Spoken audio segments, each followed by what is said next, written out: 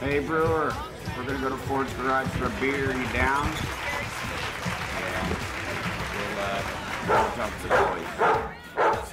Guys, uh, you here? Alright, brewer's down. You can hear him. We're gonna go to Ford's Garage and then uh, Los Cabos. You like Mexicans? Sweet. We'll hit that. Stop by the Firestone. Head up to uh, Sky Bar for a couple cocktails if you'd like. Uh, maybe some food. Sound good? You're still hungry? Sweet, sweet. And then uh, we'll go to Capone's and uh, grab some Italian. Yeah, that sounds good. And after that, maybe we'll uh, we'll head on down to the boathouse. You heard of the boathouse? That's sweet. Check that out. And uh, why don't y'all come back in about uh, a month and a half, and we'll hit the lodge.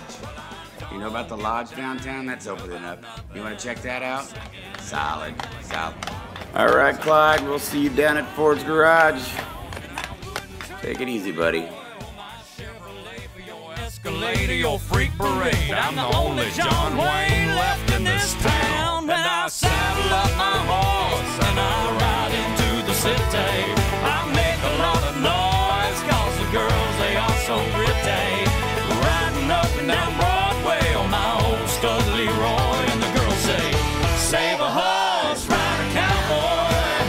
Everybody says, save a horse, ride a cowboy.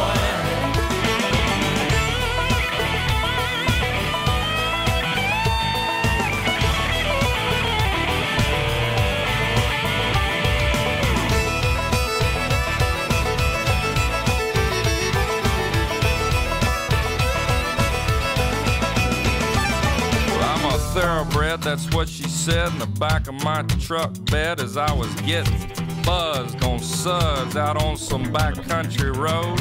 We were flying high, fine as wine, having ourselves a big and rich time, and I was going just about as far as she'd let me go. But her evaluation of my cowboy reputation had me begging for salvation all night long.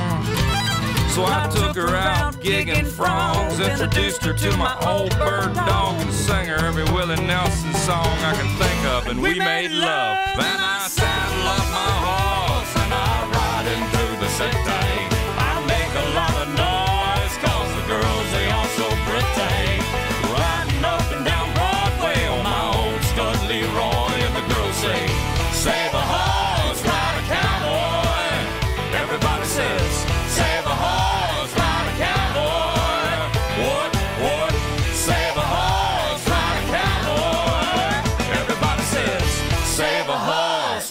cowboy.